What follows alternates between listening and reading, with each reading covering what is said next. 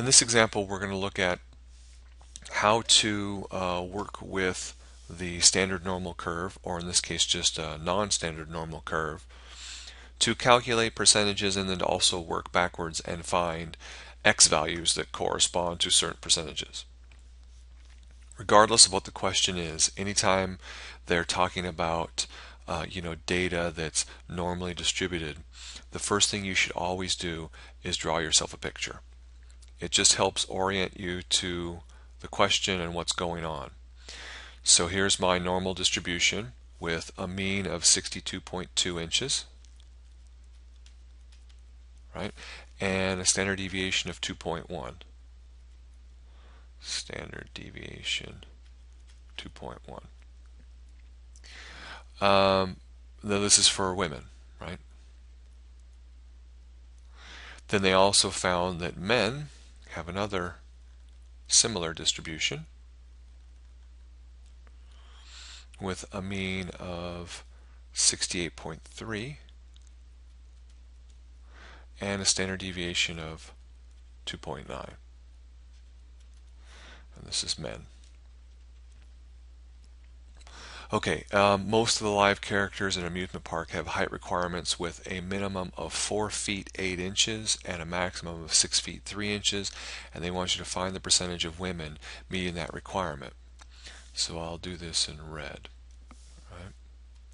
So they're basically saying um, where would those two values land on our distribution and therefore what percentage would be in between those two numbers.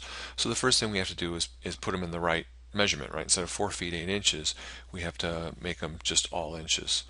So 4 feet, right, of course, is 48 plus 8, so that's 56. And then 6 foot 3, well, 6 is uh, 72 inches plus 3 equals 75. So they're asking for what percentage of women are between uh, 56 and 75. We're looking for all of that. Okay, You can use uh, the formula, the z-score formula. z equals x minus mu all over sigma. So x minus the mean divided by standard deviation. That'll give you a z-score. Then you can look a z-score up in a table and it'll give you area to the left, right? And then you can look up this one, area to the left, do the difference of the two. Or you can just go straight to technology. A lot easier that way. So we'll bring up StatCrunch. Go to stat and we're dealing with um, our z statistics, right? But we're actually doing calculators. See, when we're dealing with the normal curve, we're dealing with distributions. And so then you go to calculators, and we're dealing with a normal distribution. And this brings up our normal curve. The standard option, which is what it defaults to, just gives you area to the left of something, or you can change it and do area to the right of something. We want area in between, so we hit the between button. We have to tell it what the mean was. The mean was 62.2 the standard deviation was 2.1 and then now we want to know um, the area between two values. So the low end right was 56 inches and the upper was 75 hit compute you'll notice that it changes the uh, curve to now represent an, an average of 62.2 so there it is right in the middle standard deviation of 2.1 and then it goes back and forth you know gives you the area between those two as 0.9984 so 0.99842 let's say. And it wants it to two decimal places so there's point so there's 99.84 percent. Uh, the percentage of men who meet the height requirements we can do the same thing on uh, the men one. Let's skip down to this question because it's a little different and it says if the height requirements are changed to exclude only the tallest 5% of men and the shortest 5% of women, what are the new height requirements? So, uh, sorry, I should do that in a different color. We'll do these in blue. So now we have, uh, let's do the, the men.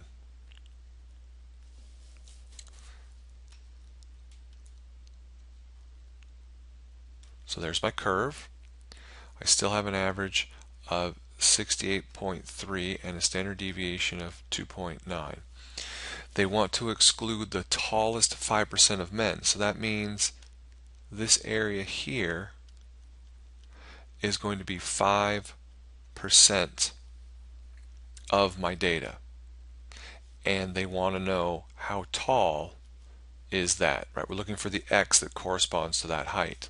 And then for the, the female picture, horrible curve, sorry, we're looking for the shortest 5%. So we're looking for this X value that has uh, the shortest 5% of the women. And this one, remember, is at an average of uh, 62.2 and 2.1. Now that we have our two distributions and we know what we're looking for, we just have to calculate those cutoffs, each one of those cutoffs. So we'll bring um, StatCrunch back up and I'm going to shrink this up so we can see our picture.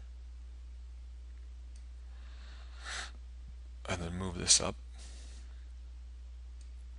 Okay, so for, uh, we'll do the men first.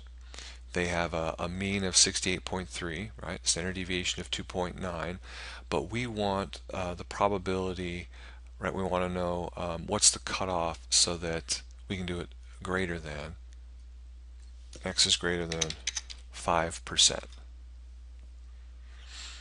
So you see the, the tail matches our picture. And so that's saying if x is 73.07, that's going to be the cutoff.